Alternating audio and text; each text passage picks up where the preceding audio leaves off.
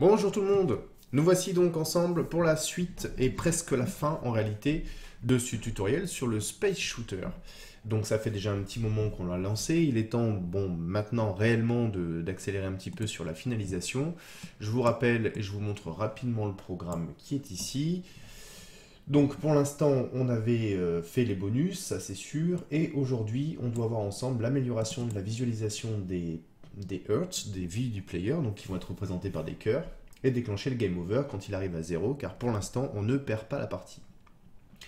Très rapidement, dans les semaines qui vont venir, euh, voire même la semaine prochaine, donc euh, on va faire assez rapidement pour terminer en fait euh, cette série, pour pouvoir engager d'autres séries, par exemple. et puis parce qu'il y a aussi les votes du mois de septembre. Bref, on enchaînera très rapidement sur la finalisation avec, au bout du compte, un exécutable donc de ce jeu. Occupons-nous pour l'instant de la visualisation des vies du player. Pour l'instant, rappelez-vous, nous avons un jeu ici très simple avec des vagues d'ennemis qui descendent, qui tirent et qui nous enlèvent des points de vie si on est touché par le missile et si, bien sûr, on touche un des ennemis. L'idée est donc maintenant, au lieu d'avoir la visualisation des vies ici par un texte, comme vous pouvez le voir ici, interface canvas panel, ce panel ici contient deux éléments texte, vitext et score text, et ce vitext, on voudrait le remplacer par des cœurs, histoire qu'on puisse visualiser plus facilement le nombre de vies restants. Et je vous rappelle qu'on doit pouvoir donc enlever des cœurs, mais aussi en rajouter, puisqu'on a le bonus cœur qui a été développé donc au tutoriel précédent. donc, ce qu'il nous faut, nous, c'est mettre en place ici rapidement un panel. Ce panel, il s'appellera Life Panel. Voilà. Ce Life Panel, on va le réduire évidemment à nos besoins. Donc, euh, on va le mettre par ici. Voilà. il ne sera pas plus grand que ça. Et ensuite, à l'intérieur de ce Life Panel, je vais mettre UI, image. Et ces images, ça sera donc ce Hertz. Voilà. Là, évidemment, c'est tout moche, vous le voyez ici dans la console. On va essayer de réduire tout ça, mais avant de pouvoir réduire, on va cocher Preserve Aspect pour qu'il conserve son ratio initial. Comme ça, la déformation, ne, enfin le, stretch va l'agrandir ou le diminuer, mais en aucun cas va changer son ratio initial, donc les proportions de l'image initiale seront gardées, conservées. Alors, par contre, j'ai oublié Live Panel ici. On va enlever le alpha comme ça. On va plutôt le rendre complètement transparent. Et ensuite, on a cette image qui, en fait, va s'appeler Hurt. Voilà. Et cette image, donc, on va la mettre par ici. Alors, on va faire en sorte ensuite que Live Panel, cette Hurt, pardon, soit accroché en haut à gauche de ce panel. Et on va se débrouiller pour que ce Hurt rentre complètement dans son panel. Voilà. Partant de là maintenant, on a 5 vies dans le jeu. On sait que on a 5 vies, donc c'est pas un paramètre qui peut augmenter, c'est un paramètre qui est donc fixe. Et on va dupliquer nos Earth, ici en faisant CTRL D, donc on a déjà 1, 2, 3, 4, 5, et à partir de là on va les déplacer. Alors on aurait pu partir sur du layout, le problème c'est quand on enlève des vies, ben, le layout se réduit, donc c'est un petit peu problématique.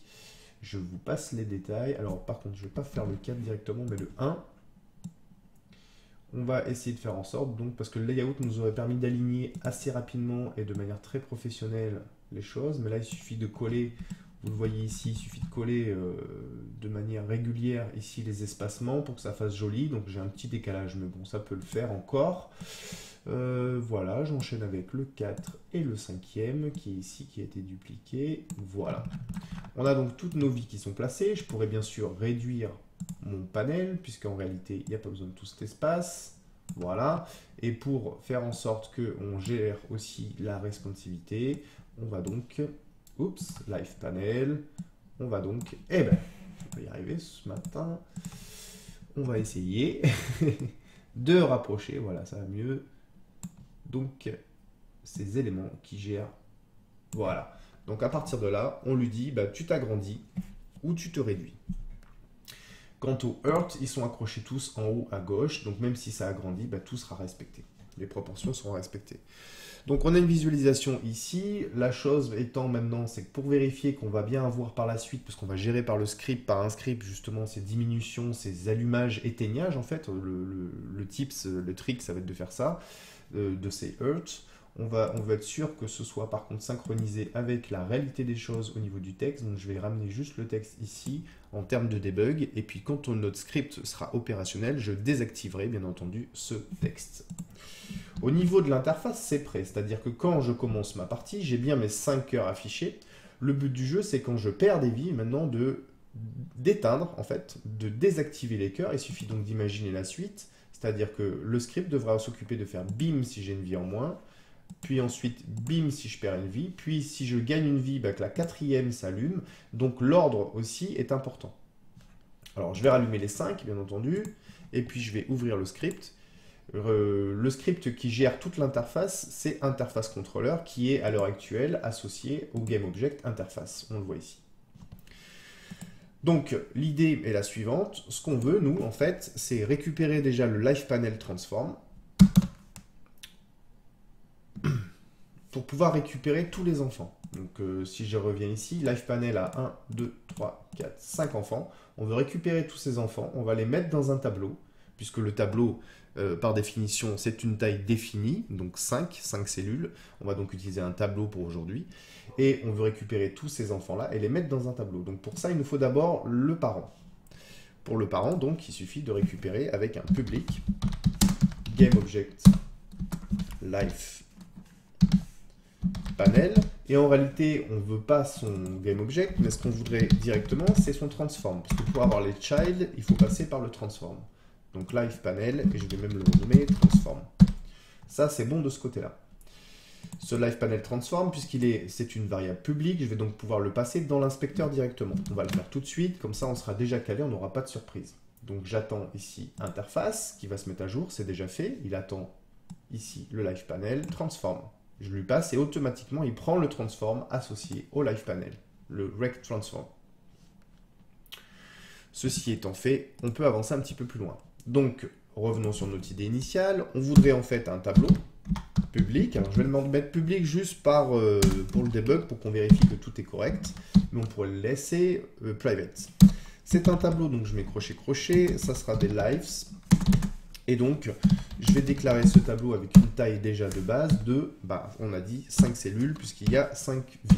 D'accord? 0, cellule 0, 1, 2, 3, 4. Rappelez-vous qu'à chaque fois, la dernière cellule, euh, enfin le numéro des cellules fonctionne en n-1 par rapport à la, taille euh, du tableau.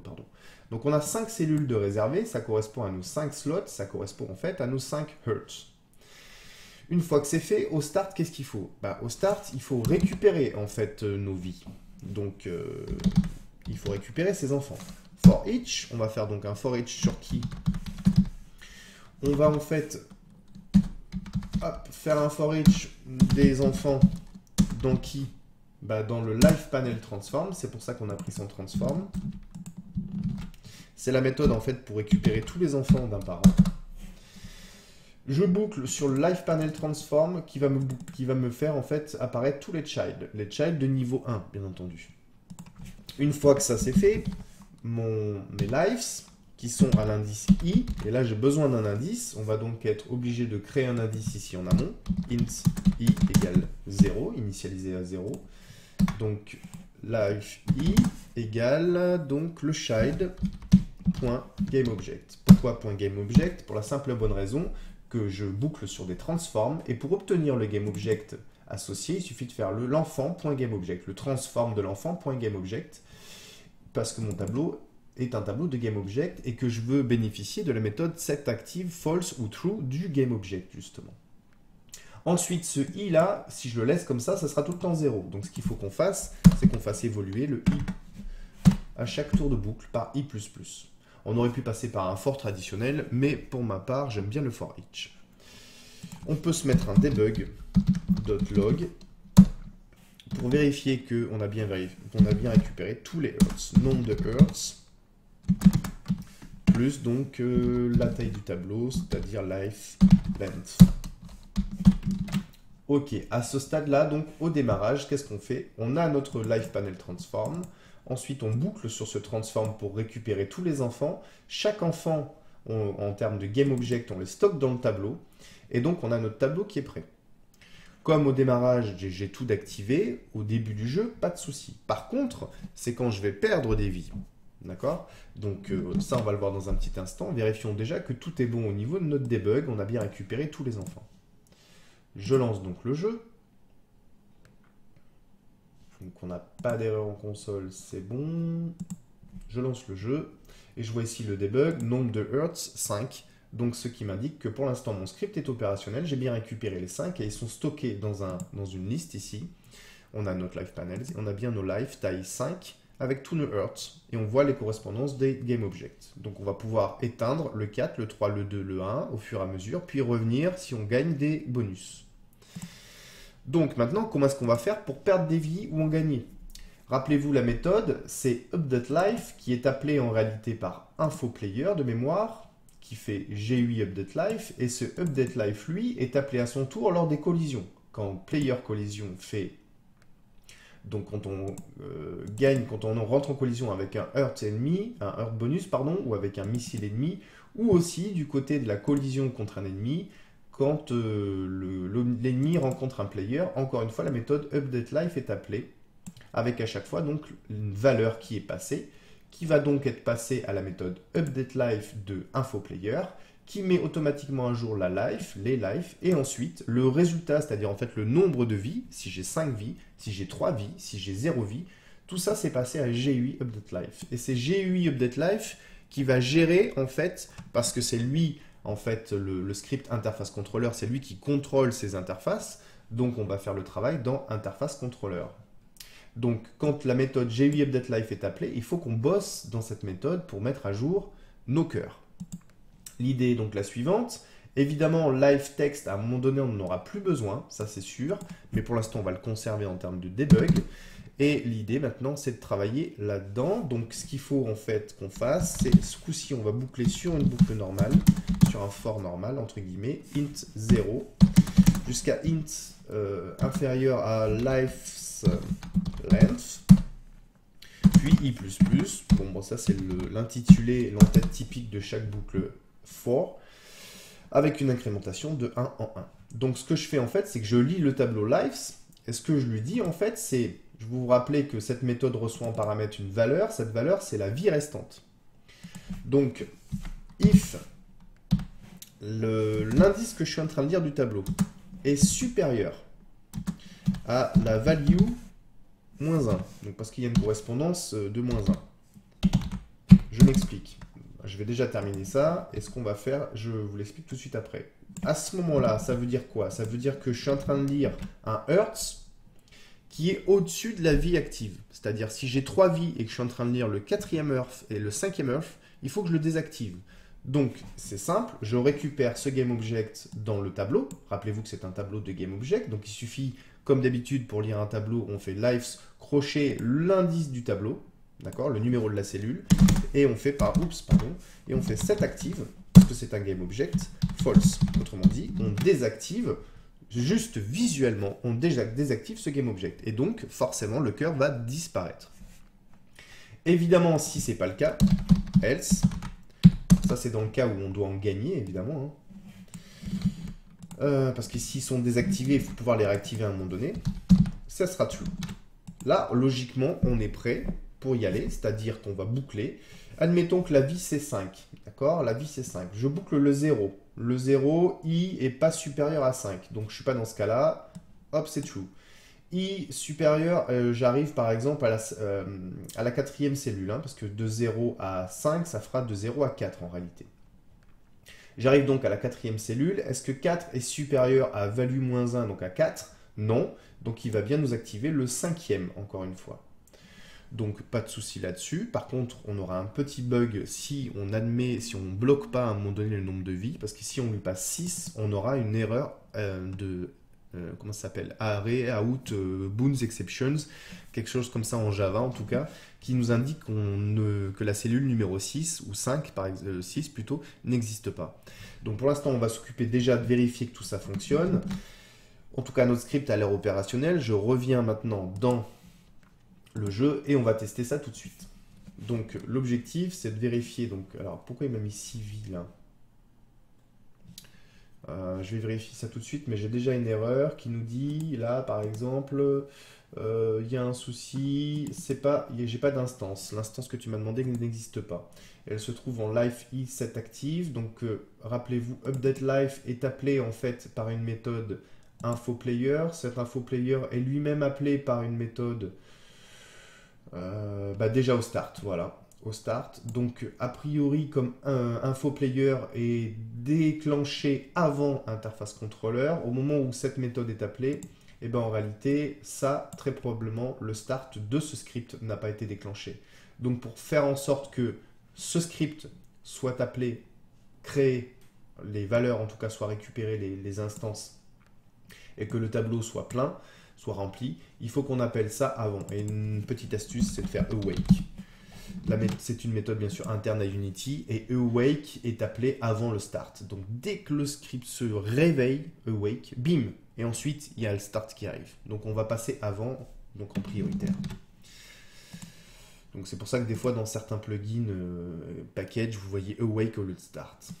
Donc là, si je lance, maintenant j'ai plus le debug, j'ai plus l'erreur, pardon. Donc je vais shooter du monde, bam. là j'ai perdu. Hop, je perds bien des vies quand je me fais shooter. Hop, je récupère aussi des vies, donc ça c'est parfait. Hop, vous voyez que là, par contre, j'ai 6 vies. Ça n'a pas été pris en compte. Je perds bien des vies, ça c'est pas un souci. Je vais essayer de me faire shooter par un missile, je perds une vie. J'ai perdu deux vies d'un coup. Voilà, donc a priori, notre script est fonctionnel, pas de problème là-dessus. Ce qui m'embête juste, c'est que je démarre à 6 vies. Alors, je vais vérifier juste une chose. C'est pourquoi il me fait démarrer à 6 vies. Ah, ok. Donc, c'est que c'est dans le script initial. Info player, life 5. Ouais, alors ça c'est très bizarre. Et oui, qu'est-ce qui se passe-t-il? Interface contrôleur. Ouais, il devrait pas. J'ai bien dit live 5. Ah bah oui, mais peut-être parce que justement, on a dit que les lives initiales du player. Eh oui, c'est 6. Voilà, donc ça, ça va pas. On va donc le rectifier ici directement. Le nombre de vies initiales, c'est bien 5, c'est pas 6. Voilà. Après, évidemment, vous pouvez rajouter un hurt, c'est pas un souci. Tout est automatisé puisqu'on a, mis, on a dit euh, tu me récupères le nombre de child. Hein. donc vous en mettiez 6, 50 000 ou 12, c'est pareil. Voilà, donc euh, on a bien la synchronisation entre le nombre de vies marquées en texte et les vies ici, voyez, si j'en récupère, et les vies en Hertz. Donc là, ça a l'air de fonctionner. Je perds bien des vies à chaque collision. Je perds bien des vies si je me fais shooter. Bim, ça c'est fait. Et euh, bah, on a notre système de... Alors là, je suis à 0. Et à 0, on va devoir déclencher un game object. Un game over. je vais y arriver. Voilà, je vais récupérer une petite vie histoire de se faire du bien. Voilà. Vous voyez que c'est déjà plus agréable, en tout cas, d'avoir quelque chose de visuel en interface plutôt que de textuel ici.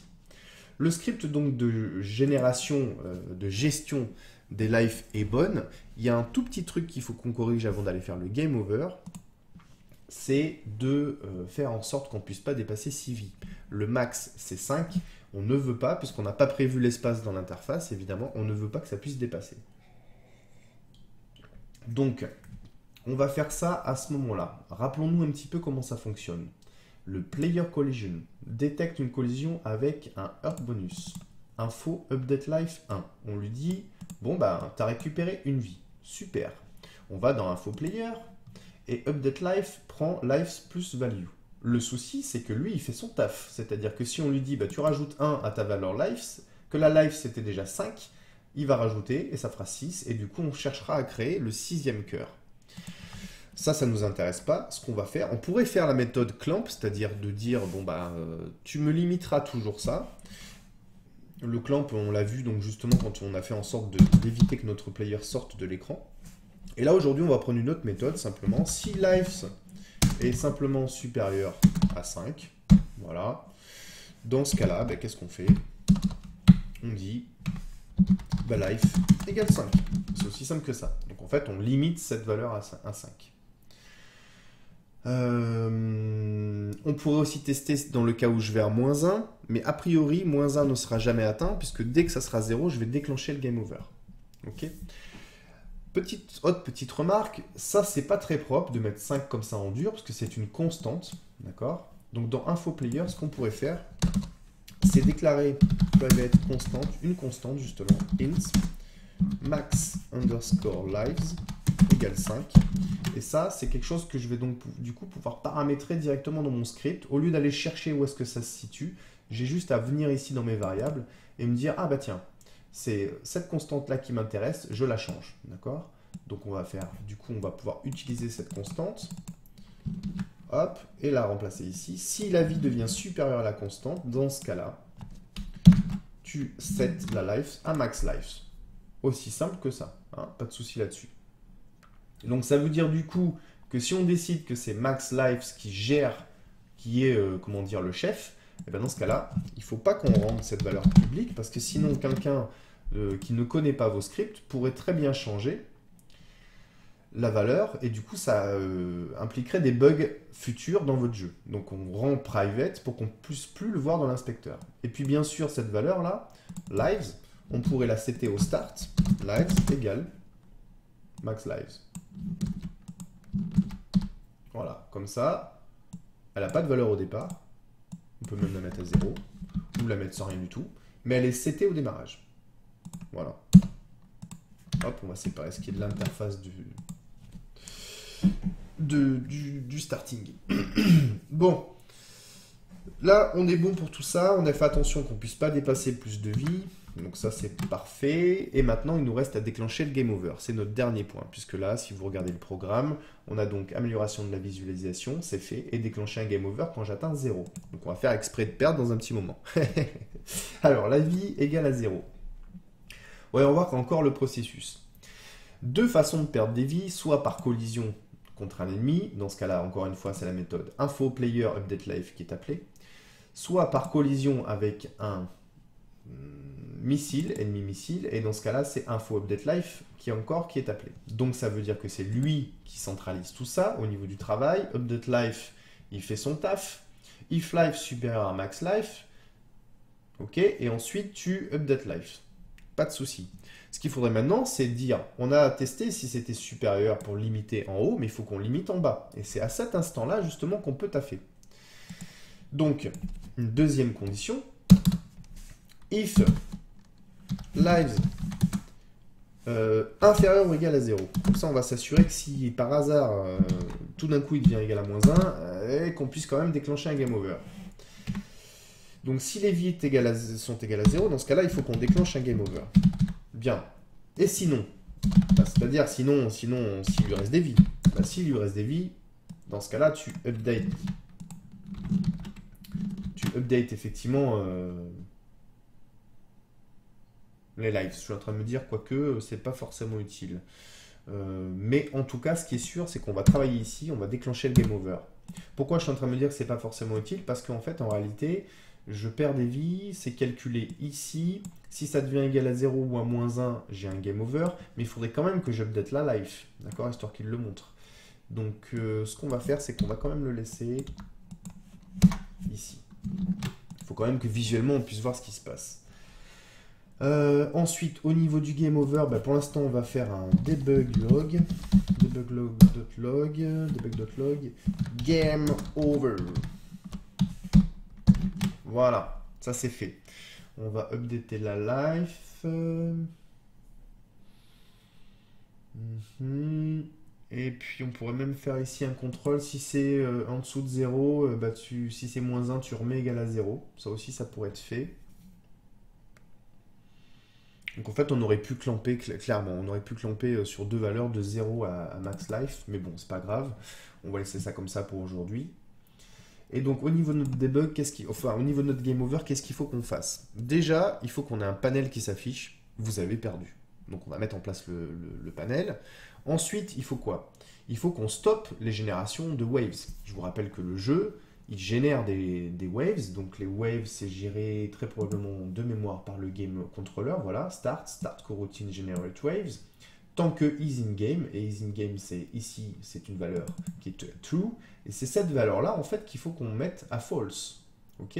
Donc ça veut dire qu'il va falloir qu'on récupère game controller, qu'on dise is in game égale false dans ce script, à partir de ce script. Or, ce script, à l'instant là, il n'a aucune info Il n'a aucun accès, en tout cas, à Game Controller. Donc on va pouvoir le faire, bien entendu, parce que Game Controller est porté par un Game Object. Et on va faire ça, on va faire ça, on va faire ça, parce que ce Game Object, il s'appelle Game Holder, et il a le Game Controller. Donc je reviens ici. Ce qu'il faut qu'on fasse à ce stade-là, c'est qu'on crée une variable private game controller qui sera le script, le game, on va l'appeler.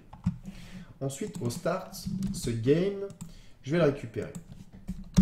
Game égale, donc, euh, ben, on va récupérer par euh, ce coup-ci par euh, le n'importe quoi. Hop, par GameObject, find, find, find, find, find. On va récupérer le GameObject par son nom, et j'ai dit qu'il s'appelait GameHolder.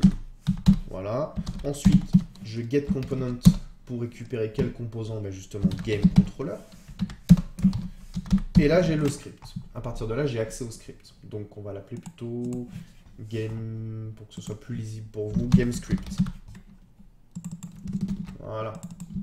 Hop, game script. Donc, j'ai récupéré, récupéré le game script. Ce game script, je peux donc avoir accès à, puisque c'est une variable publique ici, je peux donc avoir accès à is-in-game. Parfait. Donc je reviens dans mon game player ici, dans mon info player, pardon. Si c'est un, si un game over, dans ce cas-là, qu'est-ce que je fais? Je fais game script. Point is-in-game égale false. Voilà. Et à partir de là, c'est fait. Donc déjà, ce que j'ai fait en faisant ça, c'est que j'ai bloqué la génération de waves qui était gérée en fait par le générateur de waves qui est une start, qui est une coroutine. Bon, on va voir si déjà ça fonctionne.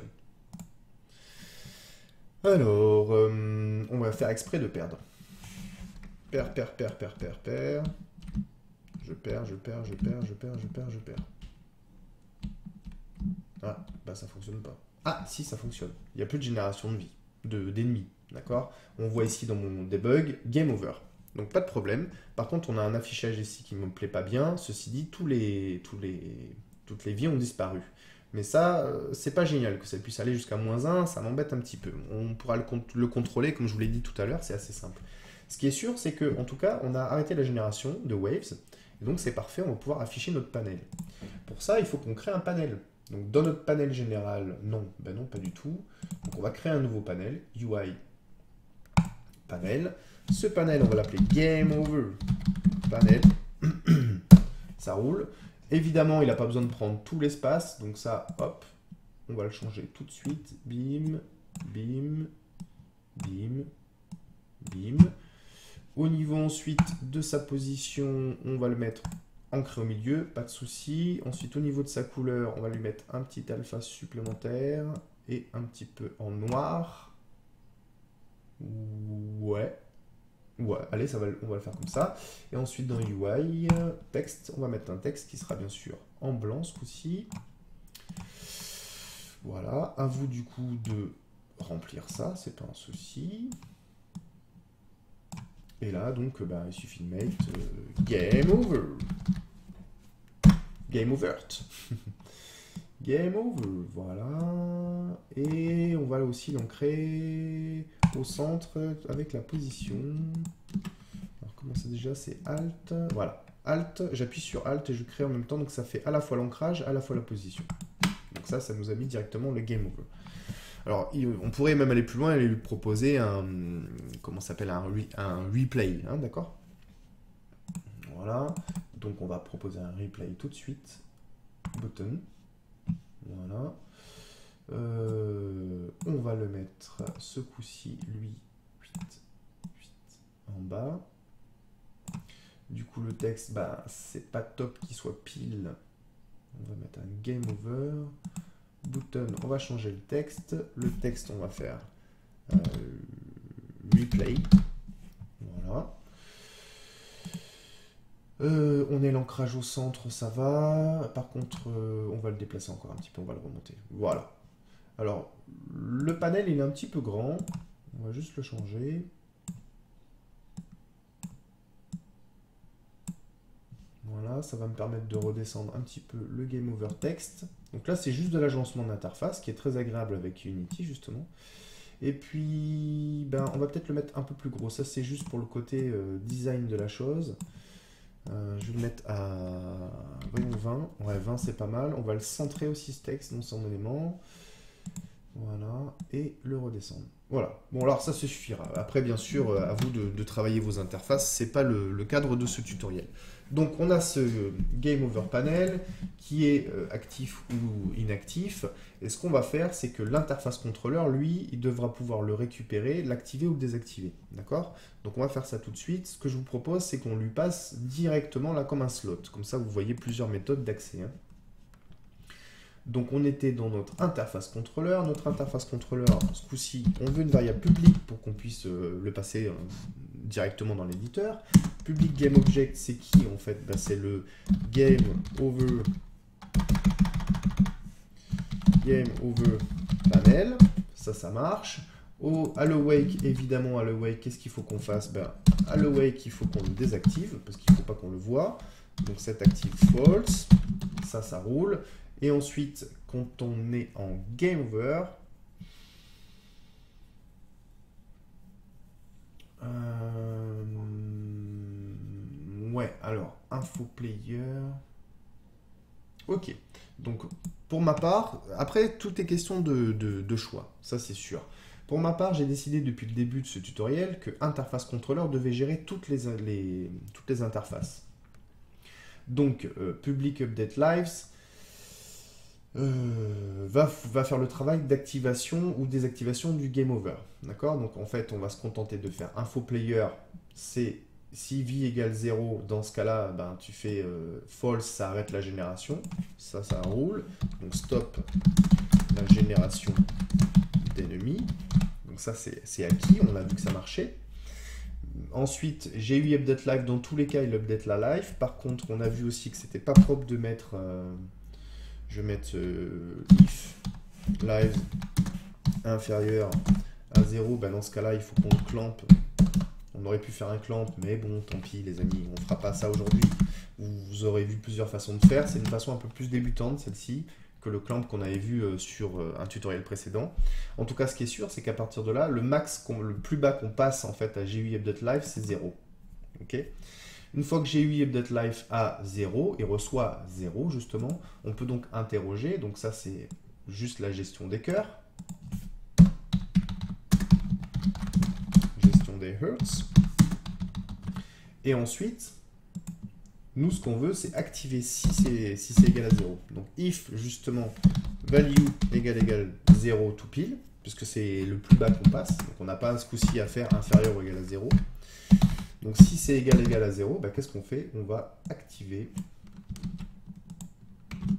hop, ce panel. Voilà, on y est presque. On a géré le stop de la génération des, des waves, des vagues d'ennemis, et là, on va activer le panel. Reste une chose à faire, c'est que cette interface contrôleur qu'on vient de, créer, on vient d'améliorer, je veux dire, il attend ici un Game Over Panel. Donc il faut qu'on lui passe tout de suite pour qu'il puisse savoir qui il active ou désactive. Je sauve la scène, et puis je repars sur un test. Donc effectivement, notre Game Over Panel a été désactivé. Je vais essayer de me faire shooter à fond. Mangez-moi, mangez-moi, mangez-moi. Bim, bim, bim, bim, bim, bim, bim, bim. Game over. Ok. Alors, deux choses. La génération est bien stoppée, mais les ennemis continuent à tirer. Bon, ça, c'est pas top. Ok, mais on verra ça plus tard.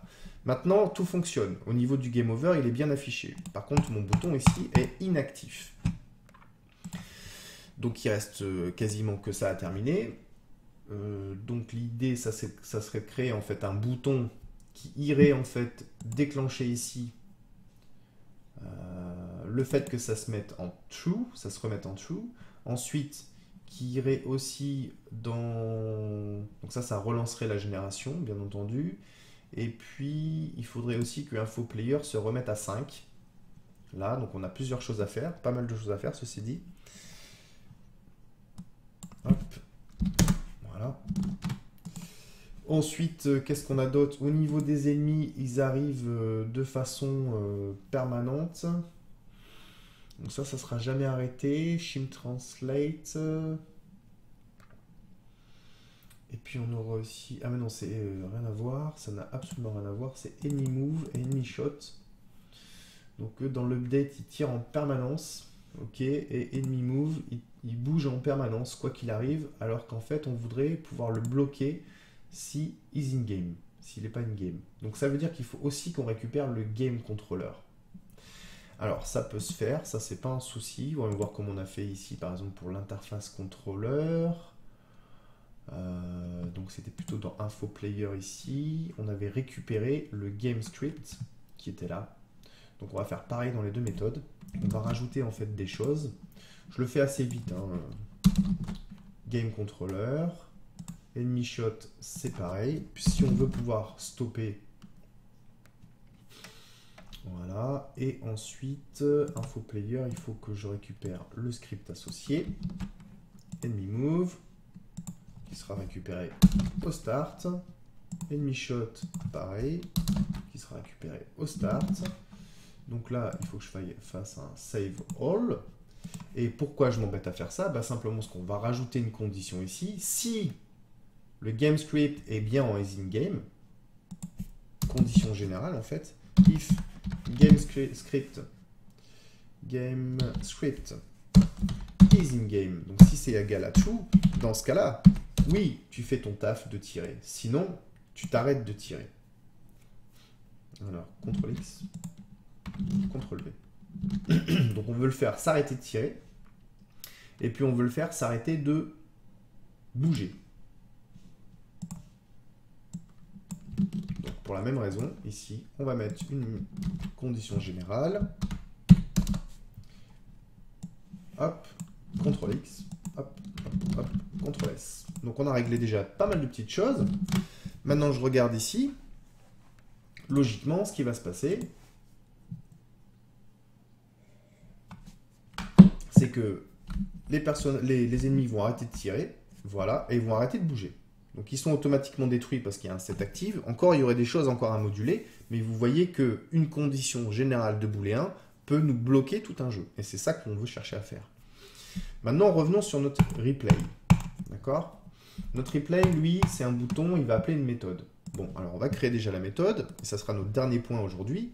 Je vais dans Interface Controller, dans Interface Controller, je vais donc euh, créer une méthode. Euh, quoique, est-ce que c'est intéressant de créer la méthode ici, puisque en fait, en réalité, je pourrais très bien la faire dans InfoPlayer. Ça pourrait être intéressant de la faire dans InfoPlayer, parce qu'on aurait directement la possibilité de remettre à zéro, de restart et d'update en même temps la live, puisqu'on a une instance du GUI. Donc ça, ça serait parfait. Et en plus, il faut qu'on cache. Ah oui, sauf que c'est lui. Donc en fait, je pourrais créer une méthode. On va le faire comme ça. Puisque j'ai 8, j'ai une instance dans InfoPlayer, on va appeler une méthode dans InfoPlayer qui va lui mettre à jour interface contrôleur. Donc je vais mettre public, euh, public euh, void show, non, hide game over. Voilà, donc ça, ça sera pour lui dire, bah, écoute, on vient de recommencer la partie, donc tu me le, le caches. Voilà, on va faire ça comme ça. Du côté de InfoPlayer, on va déclencher une méthode qui sera bien entendu public, public void restart. De quoi on a besoin en restart? Ben, En fait, on a besoin de mettre euh, lives, ça, life égale max lives. Ça c'est fait, histoire de redémarrer à 5. Au niveau du score, euh, on a besoin de remettre le score à 0. C'est les deux choses qui existent. On a besoin de refaire partir la machine de génération. Donc là, c'était qui? Ah, mince, c'est notre game controller. Bah, puisque c'est public, on a accès ici, donc c'est parfait.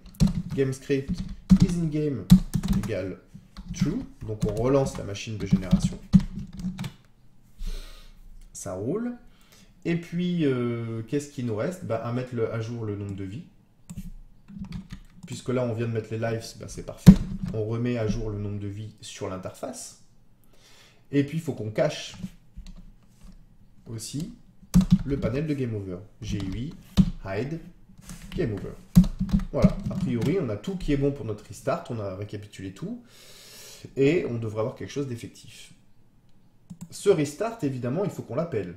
C'est le Qui c'est qui va l'appeler? Bah, C'est le bouton. Le bouton, il a ici un événement onClick.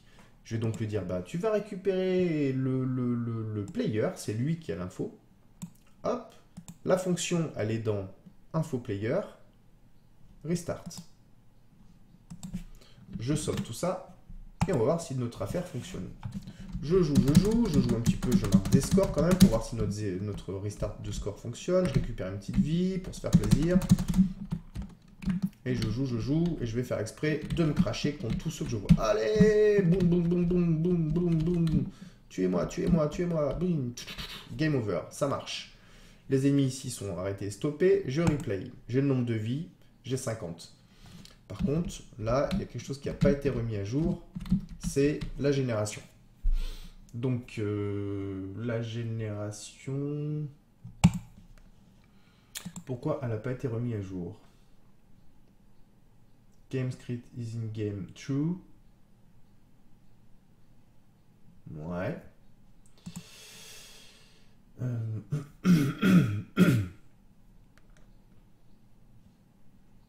faudrait relancer la start coroutine. Mhm. Ouais, donc là on n'en a plus besoin. Les ennemis move, bon ça c'est quand ils sont créés, donc a priori c'est bon. Ça, ça sera bon. Donc on a juste un souci ici, c'est que le game controller, faut qu'on relance une start coroutine. Donc je vais créer une méthode public void euh, restart waves. Et restart waves va en fait jouer ça. Alors, on était devant info player, je mets bien la variable à 0, oh, je la remets comme avant, game script, ok, et restart waves. Voyons voir maintenant ici comment ça se passe. Donc il faut que je perde pour en être sûr. Bim, bim, bim, bim, bim, bim. Ok. Je restart. Et là, ça fonctionne. Donc, on a relancé, bien sûr, la coroutine qui était bloquée, en fait. Bim. Voilà. Et là, c'est bon. On a terminé donc nos affaires. Voilà. Voilà. Donc, on a fini tous nos objectifs. tous les objectifs, en tout cas, sont atteints. Ah. Il y a quelque chose quand même qui me plaît pas bien. Ah, si, c'est bon. Il y a quand même un truc qui apparaît de temps en temps qui me paraît bizarre, là.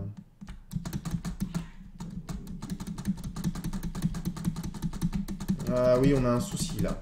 Oui, on a nos deux waves là qui sont en train de se manger les unes sur les autres. Donc on a un petit souci. Alors ce qu'on fera, c'est que là pour l'instant, ça fait déjà 40 euh, minutes qu'on est en train de développer. On essaiera d'améliorer tout ça pour la prochaine fois. En tout cas, on a déjà bien avancé. On a notre euh, représentation des vies par des cœurs. Et puis en plus, on est en train de finaliser ce game over. Donc là, c'est juste le lancement du, du Waves qui m'embête un petit peu. On verra ça donc sur le prochain tutoriel.